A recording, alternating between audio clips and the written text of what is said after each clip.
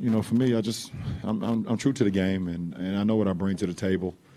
And uh, I came back for a reason. I came back to, to, to bring a championship to our city. Um, I knew what I was capable of doing. I knew what I learned in the last couple years that I was gone, and uh, I knew if I had to.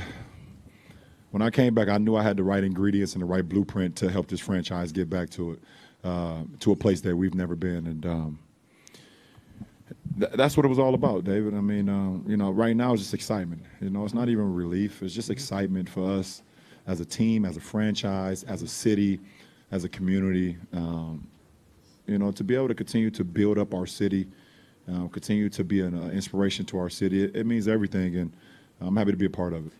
Um, and it was 89 89 for a, a good portion of the game, especially in that fourth quarter. Uh, so I was just thinking the next team that scores has a great chance of winning the championship, and I hope that we can be the, the team that's on that end.